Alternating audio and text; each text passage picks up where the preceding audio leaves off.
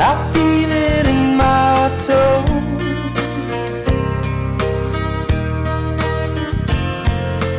Love is all around me, and so que Monser, Andrés Ay, ¿Qué va a ser? ¿Qué va a ser? Cuatro bodas, un funeral, ¿no? Wet, wet, wet. Este, esta canción que se hizo emblemática de esa película y que se ha convertido en uno de los grandes hits de, de la historia de, de la música, que se le iba a decir a un grupo bastante mediocre por otro lado, como es Wet, Wet, Wet. Pero bueno, ahí están, sonando. ¿Por qué? Pues porque a partir de esta semana... eh, Pero luego lo recuperó lo Factory. los Factual y que, Que lo hizo volvió otra versión otra versión sí, más sí. canalla Coral. Sí, sí. y- más- y vamos, más sí, canalla, sí, sí. sí. Bueno, pues a partir de esta semana a veces hablaremos de una efeméride, del cumpleaños de un actor o un director importante y muy conocido, o de algo concreto que, que venga al pelo esa semana. Esta- esto eh, lo hemos puesto porque Hugh Grant cumple hoy 56 años y como ha sido un actor con una carrera tan irregular, tan distinta, tan especial, es un ser tan especial que dijimos, bueno, pues no empezar con un señor que le conoce eh, todo el mundo. Hoy cumple 56 años, eso que él lleva fatal la edad, lo ha dicho muchas veces, que a partir de los 50 se sentía cercano a la soledad, a la vejez. Son estas tonterías que hay, porque las- él se lleva muy mal con la prensa. El pero tema las- de los hijos, ¿verdad? Sí, ahora hablaremos de ello, pero las entrevistas son muchas veces caóticas con este buen hombre. Y está muy de actualidad porque posiblemente esté, no- pueda estar nominado a los Oscar con una película que va a llegar ahora que se llama Florence, al lado de Meryl Streep, y donde él hace un, un tanto lelo, porque el personaje es un lelo, pero muy bueno, eh, eh, que es el marido de Florence. Florence fue un personaje que existió, yo creo que Federico te tiene que sonar, que ella eh, tenía muchísimo dinero y se creía cantante de ópera. Ah, sí, sí. Y que cantaba no mal, sino Está peor. anunciada en Movistar. Sí. Debe ser que ha llegado por el circuito blockbuster, veraniego y tal. Sí, sí, pero que cantaba horrores, pero nadie se atrevía a decírselo. a decírselo, pero incluso llegó, como era tan horroroso, la gente no se lo creía y llegó a llenar eh, grandes teatros. eh, Sí, sí. y la gente Ella iba- pagaba, pero luego la gente empezó a pagar por, verla, por, verla verla mal, cantar Pero mal. ella nunca reconoció lo mal que cantaba. Bueno, pues él, él hace el marido y está eh, estupendo en la película, que ya hablaremos de ella, pues se estrena en este mismo mes. Bueno, pues Hugh Grant empezó en series de televisión bastante mediocres, las cosas como son. Eh, Emma Thompson, que se fijó en él, le dio la oportunidad, eh, ya que fue la guionista de Sentido y Sensibilidad, que es, de que es que la mejor versión que hay. Exacto. Yo la vi hace poco Mm. y él realmente es un bebé, o Es un sea, bebé, sí, tiene sí. una carita con los carrillitos y tal, tontuelo. Lo hacía muy bien el papel que tenía. que tenía. Bueno, pues la verdad que le dio ese personaje y, y, bueno, pues ahí empezó a despuntar. Gonzalo Suárez buscando mm, eh, actores internacionales para Remando al Viento, la película en la que hablaba de Mary Shelley y de otros. eh, es una de película muy interesante. Muy interesante, una de las mejores de Gonzalo, pues decidió darle el protagonista de Remando al Viento. Remando al Viento en inglés suena una forma, evidentemente, pero nosotros lo tenemos que eh, oír en castellano. Oídme, voy a cantaros un canto albanés. Os pido mucha atención y silencio. Es un canto muy antiguo de las montañas de Albania. Cantad conmigo. El recuerdo que tuvo de él de esta película fue que se llevó a uno de los amores de su vida, Elizabeth Carley, que, eh, que también participaba en la película y que estuvo 10 años con ella hasta que llegó el escándalo que también hablaremos dentro de, de unos eh, segundos. Pero gracias a Remando al Viento se fijaron otros directores y, y sobre todo Es unos... que él, él estaba muy bien haciendo, claro, de lo que para un español es normal, que es hacer de inglés. Claro. Porque lo único que si tú ves a Hugh Grant dice, ese es inglés. Es inglés. Hay una Es cosa, hay algo, es totalmente y inglés. ha conseguido mantener el mismo peinado durante toda su carrera. Da igual Sí. el personaje que interprete, que siempre lleva ese mechón Claro. ladeado, y que es seña de y identidad. Los paletos, y los paletos para parecer relativamente joven e inocente. O sea, nadie le propondría hacer de un superhéroe de Marvel o de DC, ¿verdad? Porque él no puede pues cambiar su imagen. Se pone a muscular y fallece. No, es otra, es otra Es historia. un british, por No, es excelencia. un british, un british, british. blanquecino, tal, pero curioso, gracioso. Pues de Remando al Viento pasó a una película de James Ivory eh, que le quería ya desde Sentido y Sensibilidad para interpretar eh, al, al objeto de deseo en un principio del protagonista de Maurice, eh, una película estupenda por otro lado, Sí. y que de ahí eh, pues ya dio el salto a una película independiente que nadie creía en ella y que se convirtió en el éxito, evidentemente, que, que ha sido y seguirá siendo, que es Cuatro Bodas y un funeral que le subió arriba del todo. No debía haber ido a la iglesia esta mañana. Lo siento. No, no. Espera. La culpa, la culpa ha sido mía. Yo soy el único cabrón de esta historia. Pero ha servido para demostrar que el matrimonio y yo no estamos hechos el uno para el otro. Y ha servido para demostrar algo más. Cuando estaba allí delante del altar, por primera vez en mi vida me di cuenta de que estaba perdidamente enamorado de una mujer. Y esa Bueno, pues en el momento que parecía que tenía... Maravillosa película, Eh, sí, ¿eh? y que además aguanta, tú lo decíamos a micrófono cerrado, Federico lo decía, y es verdad, aguanta muy bien el, el tiempo. Bueno, pues en el momento que parecía que tenía la carrera asegurada como héroe romántico, justo en el fin de semana de presentación a la prensa de su primera gran película en Hollywood, nueve meses, pues el buen tipo lo arruinó todo cuando lo arrestaron por solicitar los servicios de una prostituta en un callejón de Los Ángeles. Sí. ¿no? Lo dejaron al borde del abismo, haciendo papeles secundarios en películas británicas o protagonizando desastres como medidas extremas. Y de la intrascendencia al desastre, Gran ya era cosa del pasado, pero como sabes, eh, resucitarse. Él solo, yo no sé por qué, pero Bueno, verdad, porque es que él tiene algo. tiene algo que tiene le hace... algo. Pero aquello algo. fue brutal y fíjate Además, que destapaba profundamente algo. injusto, Ah, sí. profundamente ¿Sí? injusto, porque bueno, como pasan estas cosas, es que él ya había dado el salto a América. Sí. Y él había entrado en el circuito americano. Y eso es un circuito muy extraño. Mm. Nada que ver con el europeo y tal. Y nada con un inglés que hace cosas en América. Estaba allí. Y va, y mira tú por donde una noche borracho, tal. La prostituta que estaba estupenda y encima se llamaba Divina. Divina. Divine Brown, también, Divine Brown. Divine Brown. Divine. Tremenda, que además ocupó las televisiones. Ella vino de bueno, ella le vino divinamente, ya debe Claro. cobrar ahora barbaridades, claro. Pues así explicaba él, claro. Y aquí sí en inglés todo lo que le había ocurrido. Let me start with question number one. What the hell were you thinking?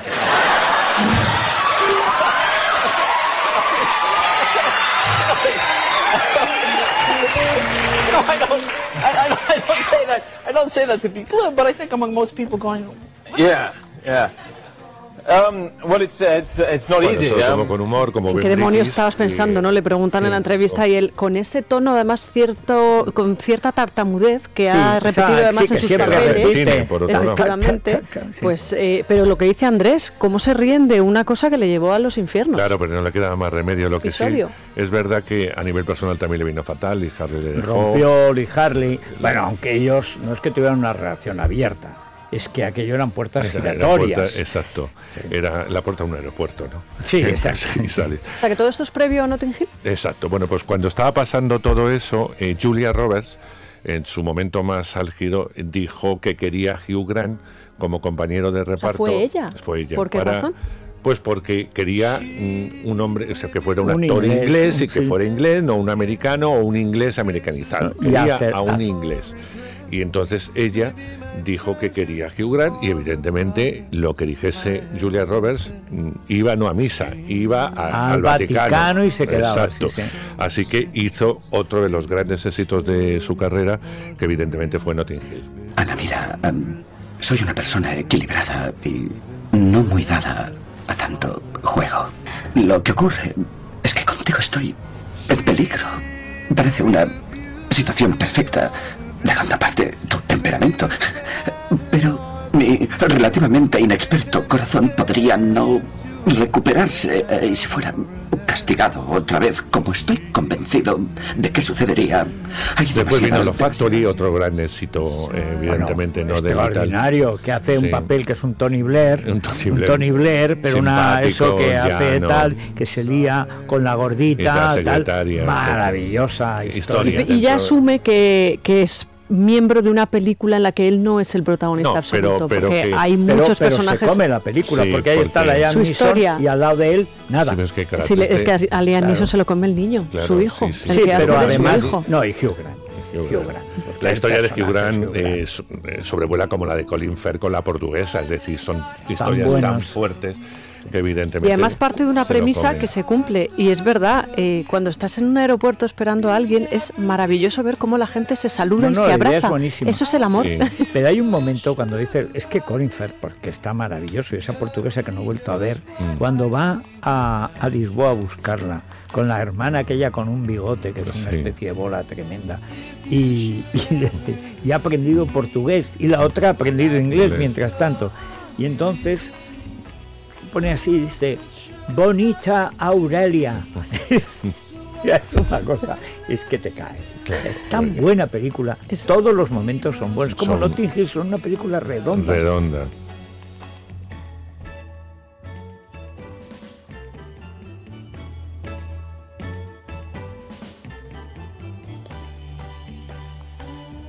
Bueno, pues... Viene lo malo, ¿no? Empieza lo malo para ti. No, no, no empieza lo malo para mí, porque eh, eh, él, él hablaba del, de Love Actually, que lo que peor llevó fue tener que bailar, porque es algo que lo lleva fatal. Tuvo que beber, dice él, mucho vodka para poder bailar en público, porque Pues es algo está que, muy gracioso. que no puede sí, dice que está gracioso porque estaba bebido durante Bueno, la- las la que las ha contado luego su ex, Liz Harley, Sí, sí, sí. que además se azotaban y tal, todos con unas castañas Claro. monumentales. Sí, sí, pues esto es lo que dice él, que le gusta mm, de bailar él solito y en su casa. Hablando de castañas, yo tuve la oportunidad de la entrevista varias veces, pero una de ellas eh, venía con su ex, de una película americana y tal, que había producido su ex.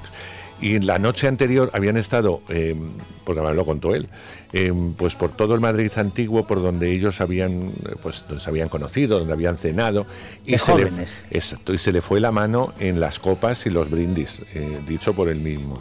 Sobre todo porque es que tuvo que disculparse, porque cuando fuimos a entrevistarle, ella estaba como una rosa, pero él estaba verde.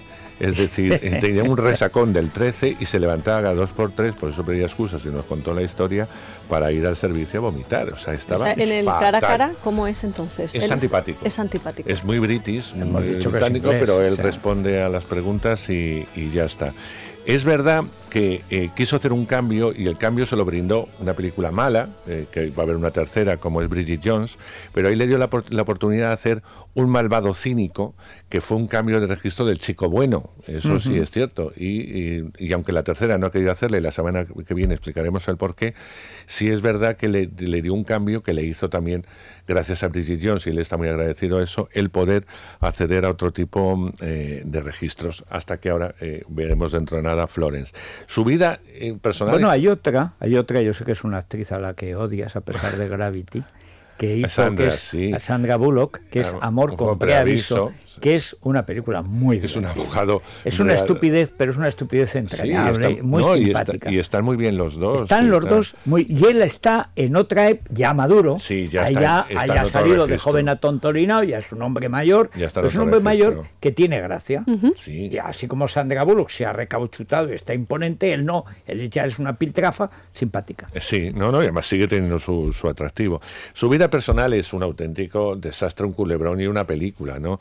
No solamente los amores que haya tenido en la actualidad, él convive, no en la misma casa, pero sí en la misma calle, con dos mujeres. Esto es cierto, o sea, él tiene dos mujeres. O sea, es bígamo. eh, pues sí, pero sin estar casado. Eh, es decir, las dos son consentidoras. Está con una, eh, una persona de, de origen oriental y con una sueca. Con las, entre las dos tiene tres hijos. De hecho, eh, cuando nació uno, la otra estaba embarazada del otro. Con lo cual, con la china tiene eh, dos hijos y con la, eh, Con la sueca uno, que será el doble de grande, Pero claro. siguen conviviendo. O sea, es decir, este triángulo amoroso es, debe ser lo que a él le satisface. Eh, bueno vamos, es raro que no viva enfrente Liz Harley para Lee hacer de Lee- babysitter Lee Harley vive, cerca, vive Se cerca. llevan Claro, fenomenal, claro. además. y sí. siempre dice que como amigo mm, eh, es estupendo, Como amigo que como novio fue terrible. Así que sigue teniendo relaciones con Lee Harley, no sabemos de qué tipo, pero de momento de y amistad. él tuvo algo con Andy McDowell cuando Sí, se dijo, bodas de Andy, se dijo de Andy McDowell, se, se ha dicho de Drew Barrymore, que también ha tenido su aquel. Sí. Vamos, él debe ser un chico fácil. es fácil Es yo un chico la fácil. No comprometido, porque eso de vivir, mm, o sea, No. en convivencia o de casarse, no. Pero sí de, de convivir de vez en cuando, que debe ser una situación muy cómoda, que las otras dos aceptan. con Sandra aceptan Bullock había una química como Con Sandra si parece ser que no hubo nada. A ¿no? lo mejor es No. que es inaguantable y entonces No, ninguna lo quiere hasta en ahí yo casa. no sé, Y le dice, vete, a, vete al pero- 12, Pero que ya en el sacrificado. 18 Oye, estamos hartas. dos mujeres en la misma calle con dos familias y niños pequeños. claro. Chico, bueno, inglés, es inglés. Es inglés, es- son, son, Son diferentes, di- dicen de los españoles, Bueno, ellos pues, son totalmente diferentes. Este ha sido el recorrido por esa eh, vida de Hugh Grant. Nosotros recomendamos Movistar Plus, Federico, porque es nuestro Movistar Plus, Bueno, canal además 125. ya tenemos el canal, el 125, que además es muy sencillito. Tú pones el dedo gordo donde tienes que poner uno, uno. A- Derecha, abajo. Uno, dos, cinco. Cinco. Claro. Sencillísimo. Es una fácil combinación, una L Hasta el más invertida. tonto ve el uno, derecha, abajo. Ya está. Claro que sí. 1, 2, 5. Sí. Lo tenemos a partir del, del 15. Del día 15. Y el bueno, jueves, que vi- jueves que viene. el jueves que viene y ahí se va a parar todos los programas y los programas que iremos preparando y que iremos anunciando con otros medios de comunicación que estamos fuera del duopolio siniestro de la niña Shishina y que con su pan se lo coman y ojalá les explote. Bueno, pues hacemos una pausa y vamos con los estrenos y además nos vamos a ir de ruta a Dinópolis, que nos gusta un Oh, dinosaurio, Teruel, ¿verdad? Un dinosaurio, un dinosaurio de Teruel. o sea, Sí, de bueno, en huesos, en huesos. Claro, claro. Es la mañana de Federico, con Federico Jiménez Los Santos.